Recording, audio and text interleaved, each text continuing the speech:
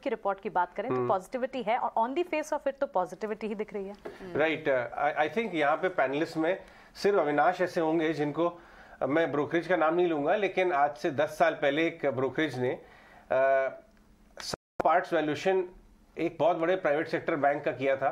अविनाश आपको याद है? और उसमें उनकी बैंक की ब्रांचेस की रियल एस्टेट की वैल्यू मतलब रियल एस्टेट का इतनी मैडनेस हो गई थी रियल एस्टेट स्टॉक्स की अविनाश, आपको याद है क्या?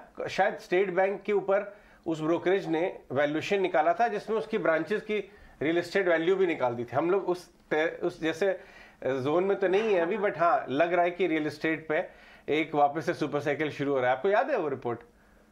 नहीं, बिल्कुल जय लेकिन इस बार मुझे लग रहा है कि जो सुपर साइकिल मानसिक बता रही है, मेरे ख्याल से अभी लोग काफ़ी सुलझे हुए हैं। ऑब्वियसली वैल्यू आप रियल एस्टेट हर हर हर कंपोनेंट की अगर आप वैल्यू निकालोगे तो उससे रियल एस्टेट कंपनीज़ की वैल्यू बनेगी नहीं। मेरे ख्याल से कितनी ज़्यादा क्विकली इन्वेंट्रीज भी मूव होती है, और प्लस कितनी बैलेंस शीट्स लीन और फिट होती है, कितना कम कर जाए, ये सब मेरे ख्याल से अभी जो नए यू नो रियल एस्टेट के साइकिल में हम देखेंगे। वो ओनली क्वालिटी प्लेयर्स बड़े प्लेयर्स सक्सेसफुल होंगे। मुझे लग रहा है कि रेरा रेरा आने के बाद तो काफ़ी छोटे प्लेयर्स कंप्लीटली मार्केट से निकल गए हैं। काफ़ी डिस्ट्रेस सेल भी हो चुका है। तो मेरे ख्याल से देखिए रियल एस्टेट मार्केट और रियल एस्टेट में मार्केट में अगर किसी को निवेश करना है तो कम से कम डेढ़ दो साल का टाइम फ्रेम रखिए, क्योंकि देखिए, ये कोई मैन्युफैक्चरिंग कंपनी का जैसा सेक्टर नहीं है।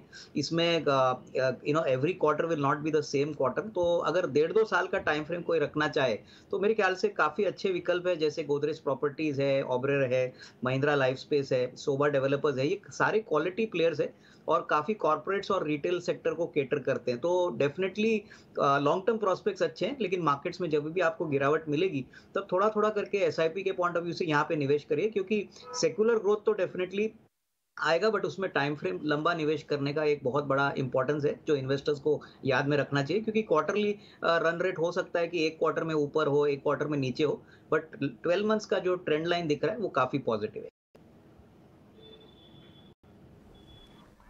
इनफैक्ट रियल एस्टेट की बात कर रहे हैं तो आपको एक बार व्यूअर्स को ये बता दें